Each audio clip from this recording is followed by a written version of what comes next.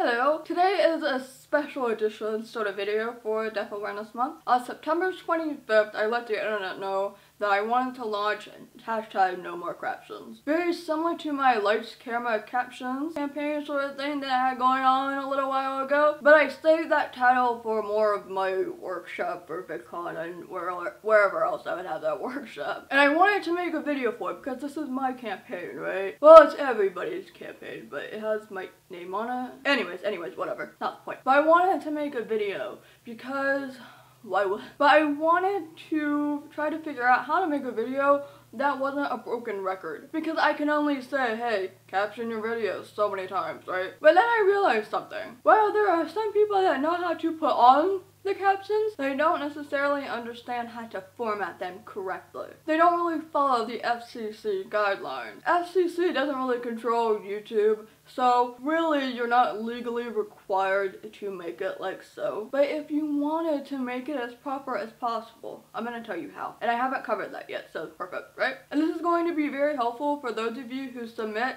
captions and subtitles to your favorite YouTubers. And I don't mean the joke. I mean, let me emphasize once again, you're not a joke to the captions. It's ridiculous. And the FCC would yell at you for it. Yell at you. So for actual real captions, this is how it works. So I've opened up the FCC page. And in case you don't know, the FCC stands for Federal Communications Commission. And they actually have a consumer guide for those of you that are, you know, in the TV industry or if you're just, you know, making videos like I do and you want to add the proper captions. So I'm going to read what closed captioning is because a lot of people have had the tendency to argue to us about what closed captioning actually is because there's one YouTuber's fan base that is currently taking a crap on the deaf community and writing insults left and right so, closed captioning displays the audio portion of a television program as text on the TV screen, providing a critical link to news, entertainment, and information for individuals who are deaf and hard of hearing. Congress requires video programming distributors, cable operators, broadcasters, satellite distributors, and other multi-channel video programming distributors to close caption their TV programs. So really, if you thought about it, shows like, say, Philip DeFranco, who I will use that example soon, or SourceFed, or whatever, really, they kind of fit into the whole business thing where you would expect that professional captions would be done. It kind of counts, it kind of doesn't count, I'm not really sure, but those shows kind of fit right in the middle there. So here are the FCC closed captioning rules. FCC rules for TV closed captioning ensure that viewers who are deaf and hard of hearing have full access to programming, address captioning quality, and provide guidance to video programming distributors and programmers. The rules apply to all television programming with captions, requiring that captions be accurate. Captions must must match the spoken words and the dialogue and convey background noises and other sounds to the fullest extent possible. Synchronous. Is that how you say it? Captions must coin coincide. Captions must coincide. I have no idea if that's how you pronounce that word. With their corresponding spoken words and sounds to the greatest extent possible and must be displayed on the screen at a speed that can be read by viewers. Complete. This is the most important part. Complete. Captions must run from the beginning to the end of the program to the fullest extent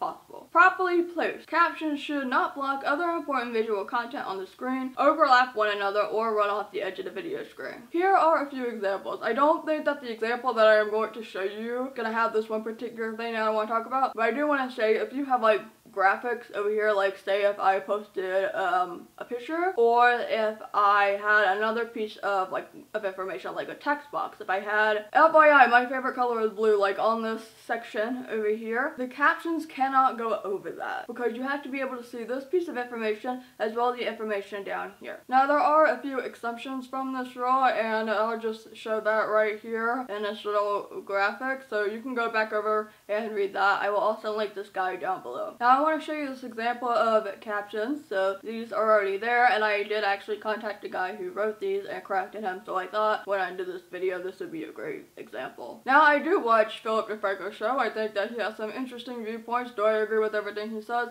No, but I do like to watch the show. It's a new show that I usually enjoy. However, his content is not 100% captioned. However, the content that is captioned, usually pretty good. However, I feel like because the Philip DeFranco show, SourceFed, those things are businesses. They're really big businesses. Professional captions will probably be more suitable. In fact, SourceFed's Facebook has captions on the video. However, the videos on the YouTube channel, which are the exact same videos, do not. Yes, I have made a note. It's a little weird, but it's like, hey, Could you?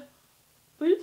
So if you look at uh, this one particular part in the captions, the very first sentence where it says Frank's usual, Sup you beautiful bastards, hope you're having a fantastic Wednesday, welcome back to the Philip DeFranco Show, let's just jump right into it. So as you can see, there's four lines in that section, and that section is going to show up when you watch the video itself. And frankly, it's just too much stacked up on top of each other. So ideally, you don't want to have more than two lines, and as you can see, a couple more of these boxes have three lines. It's just too cluttered. Now I don't know if the FCC rules when they say that things shouldn't overlap. I don't know if that also means the captions itself, but I noticed that on television most lines, most of the lines do not go more than two. So really that's where you want to be. That's the perfect amount of space. Otherwise you're going to start covering some things up and it doesn't look really good. And it could take a lot longer to actually read it and then stuff goes on faster, but the captions are still there. Now I've noticed a couple of channels have run-on sentences. Nothing is spaced out, nothing has punctuation, and that is also not a good thing to do. A lot of sentences on the captions, nothing is capitalized and it's just, so you want to have proper grammar. Now, you can't expect everybody in the world to have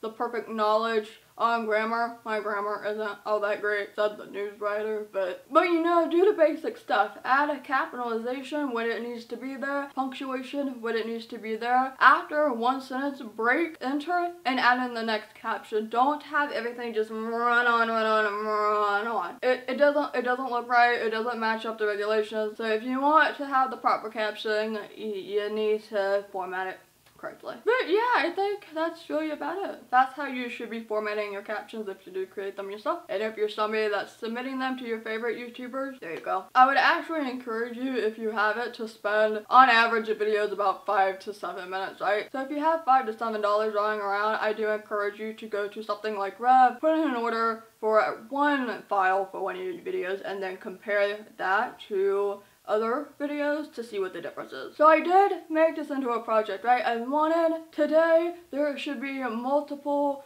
videos of people promoting really good captions and no more craptions, aka the automatic captions that you turn on and it says something really, really bizarre. Often when you go on the comment section and you ask for captions or even when you email YouTubers and ask them to put on appropriate captions, they will say to turn on the automatic captions. And they, they have never looked at them. And you know that because if they did look at them, they would never tell you to do that. So I was hoping that instead of having some people upload a video every, you know, couple of weeks, my goal was to just have as many people as possible upload a video on the same day and see how much more attention that could bring to the issue. So below in the info box, I will have links to all of the videos that I are uploading for this campaign. And I do encourage you to make your own video. It doesn't have to go up on this particular day. It doesn't have to go up on September 25th. Just upload it whenever you want. And I'm hoping that together we can make a positive change in the community. For all communities, for deaf and hard of hearing people, for those with auditory processing disorder, for those who are learning English or whatever language that they're watching the video in, for those that want to watch Gilmore Girls or Brooklyn Nine-Nine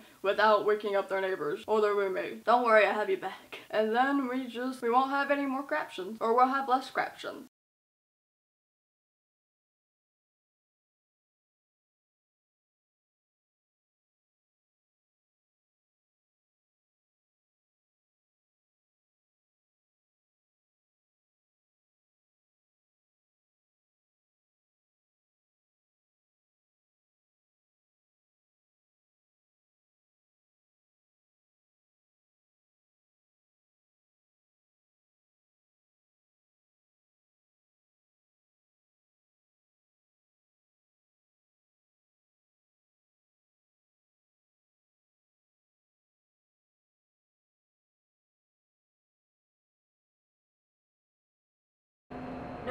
More craptions. No more craptions!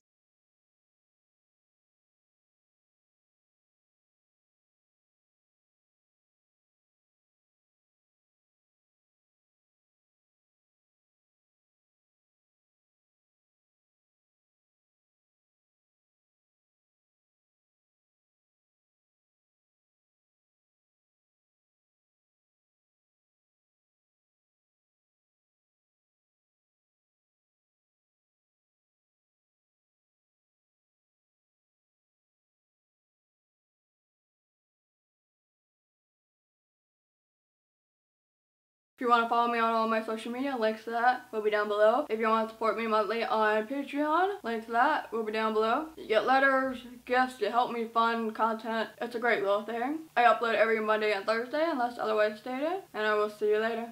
Bye.